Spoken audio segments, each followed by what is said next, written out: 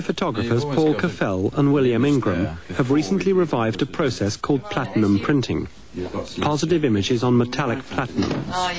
When finished, each print has the depth, tone and characteristics of a charcoal drawing. The results are unlike any other.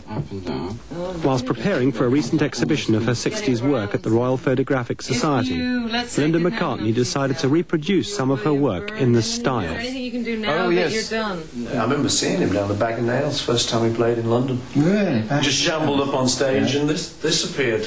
Very loud and very beautiful. We met at the Bag of Nails, but also you saw met, yeah. Sergeant Oh, Pepper lovely. played. He got the album Sergeant Pepper and he was so turned on by it. Hmm. You, you went to see He, him. uh, yeah, he was playing on the Savile Theatre in London on the Sunday night, and we'd released Sergeant Pepper on the Friday, hmm. and he opened his hmm. show with it on the Sunday night, so he must have learned it Overnight. We just overnight. loved it, obviously. But it's such a tribute, you know. It's like You can almost best feel compliment like, I've ever been paid. I think. You know.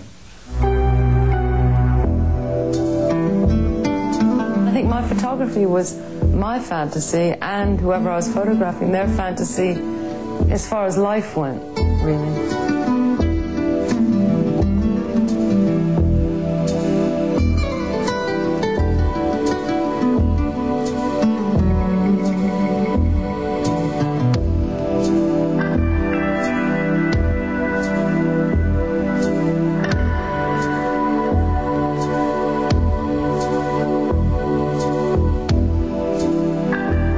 Was just capturing my special moments.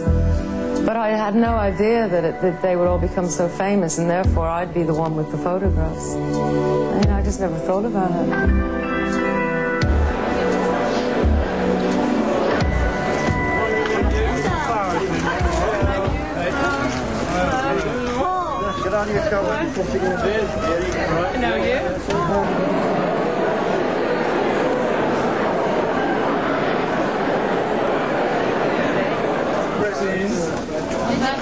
There's a belief in Linda that anything that involves camouflage, anything that involves intrigue, anything that involves uh, pretense or superficiality, she doesn't really want to have anything to do with.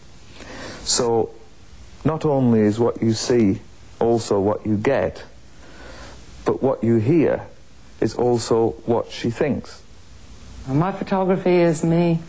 I'm not influenced at all by by critics. I mean, I'm not the kind of person that'd say, "Oh, she only uses natural light." I wouldn't go out the next day and buy lights, you know.